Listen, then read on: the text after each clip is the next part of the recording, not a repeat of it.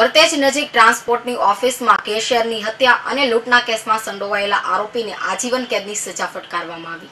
ફરિયાદી પથુપા ભાવસી ચૌહાણ તેમની ઓફિસે આવેલા અને તેમની બાજુમાં પ્રેમદાસ ઉર્ફે બટુભાઈ વેણીરામ અગ્રવાત, જાતે સાધુ. તેઓ પણ તેમની ઓફિસે જય માતાજી ટ્રાન્સપોર્ટની ઓફિસ ખોલેલ. તેઓ ઓફિસમાં બેસી ટ્રાન્સપોર્ટના ભાડા ચૂકવે છે.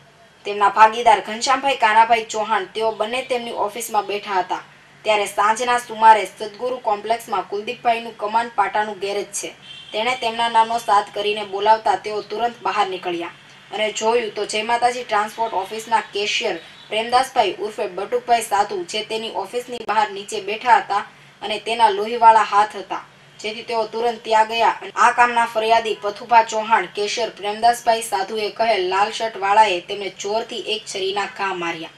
આ બાબતે પાંચ વર્ષ પૂર્વે વર્તેજ ગામ પાસે ટ્રાવેલ્સની ઓફિસમાં લૂંટના ઈરાદે આવેલા શખ્સ ઓફિસમાં બેસતા કેશિયર ઉપર છરી વડે હુમલો કરી મોત નીપજાવી રૂપિયા વીસ હજારની લૂંટ ચલાવી નાસી ગયો હતો. આ અંગેનો કેસ ભાવનગરના ડિસ્ટ્રિક્ટ એન્ડ સેશન્સ જજ શુભદાબેન બક્ષીની અદાલતમાં ચાલી જતા અદાલતે સરકારી વકીલ વિપુલભાઈ દેવમુરારીની દલીલો, આધાર, પુરાવા, સાક્ષીઓ વગેરે ધ્યાને લઈ આરોપીઓ સામે હત્યાનો ગુનો સાબિત કરી આજીવન કેદની સજા ફટકારવામાં આવી. Música